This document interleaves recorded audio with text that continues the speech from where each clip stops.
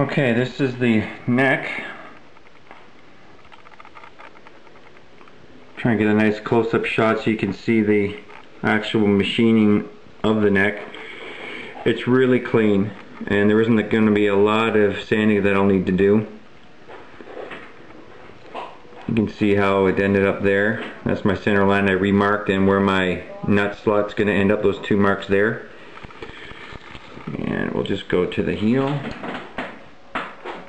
It's slightly over an inch as you can see by my upper mark above the uh, exit hole or the nut hole there. If I can get it in here, you can see just how straight that is.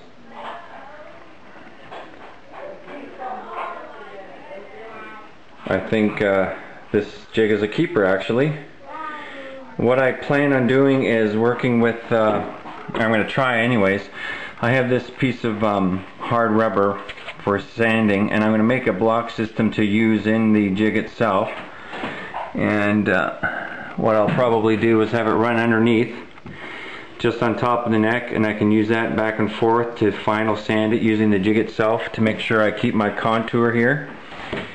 And um, one thing to keep in mind is uh, right now I've got just a little bit of material at the uh, plug hole there as you can see about a 16th obviously the relationship of the nut to the bridge is critical and you're not going to want to uh, go too close in here. You can adjust it by sanding back because as that as that angle drops down you're going to gain more material but then your nut's going to have to be pushed back which will affect the placement of your bridge and it'll throw off your geometry a bit there and you probably will run out of room if you use an original location for the bridge as far as intonation goes.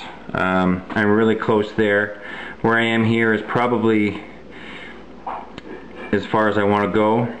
I believe that the uh, eighth inch slot for the nut uh, where it is there I need another eighth in front of that where the uh, that this transition begins so I have a little bit of room to play with I could drop down the neck the thickness a little bit if I want, but we'll just see how that goes. I'll do some finish sanding on that. Here you can sort of see the slight tool marks there. Um, you really, I can't feel it. It actually is pretty uh, smooth, so it's not going to take much finish sanding whatsoever. And the other thing I want to bring to your attention is this nice sharp edge at the uh, bass side and treble side of the neck here. You're going to want to uh, do as much as you can not to sand a nice round edge there. You want to leave that as sharp as possible so when you do your fret work, it, your fret ends are going to be nicely tight down at your fingerboard at this at these edges here. Uh, the tendency is to is to sand it and then kind of give it a nice hit it with a bit of a round just for feel wise prior to fretting and then you'll find out that hey I shouldn't have done that and then you'll have to figure out what to do there. It just makes the job a lot easier if you don't touch that at all and keep that nice and sharp. I know when you get to this stage you want to know what it feels like when you hold it in your hand. It feels really good already. I um, sort of went ahead and did the transition sanding uh, yesterday. I know I was going to show it, but I'll show it on my other neck when I uh, get to it. I'm just waiting for the uh, the bullet nut to do the to fit in my truss rod. So it's slightly uh, slightly complete nice and smooth. And uh, there's a bit of a knock there. I dropped it and I also have to fix that up. Not a big deal. I'll probably round that uh, you can really see the definite shoulder here. I'll probably round that a little bit more get that a little uh, smoother. That line there is where my side marker dots will go. That's at 7 eighths from the bottom up. I think there's a variation of 7 eighths to 13 sixteenths there. Um, don't know what else I can say about it. Um, yeah, from here, uh, once it's sanded, I'll install the fret markers and the face and the side. I'll finish up the face. I'll do the, the plug uh, in uh, a later stage, just in case I need to have to pull out the truss rod or if there's a problem there, I know I can get it out without too much trouble. It's just a matter of popping her out and sliding her back in. They're installed. I install the truss rods through the headstock and then when I get the head the truss rod in I'll take a punch a small punch about a uh, quarter inch punch and I'll tap that anchor so that it's biting the teeth are biting into the bottom of the plug hole and then I'll uh, install the nut that's how that's uh, that's how I install the uh, truss rod anyways um, pretty slick little design I think. Um, I know most guys stick with a standard straight uh, nine and a half or seven and a half or 12 inch radius all the way down parallel with the jig that uh, you just have a, a carriage for the router and just kind of go back and forth with it. But I thought I'd try something a little more elaborate from my first time out and uh, I think it turned out pretty good see if I can get any more good shots of this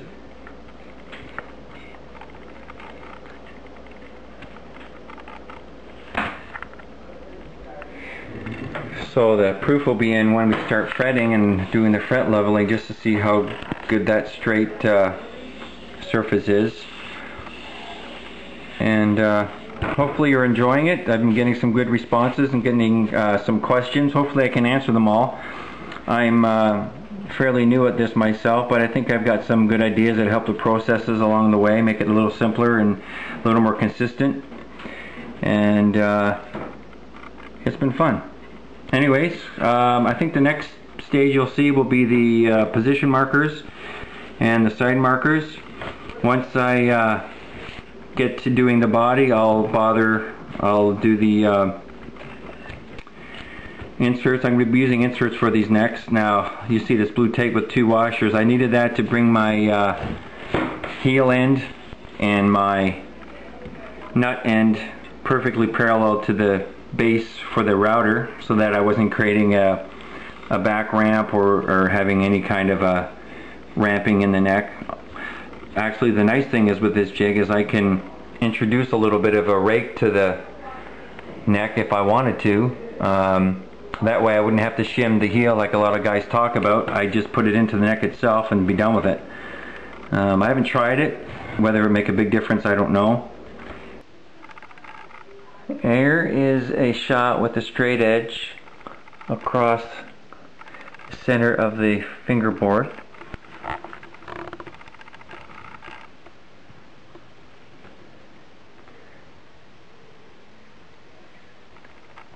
Seems pretty good.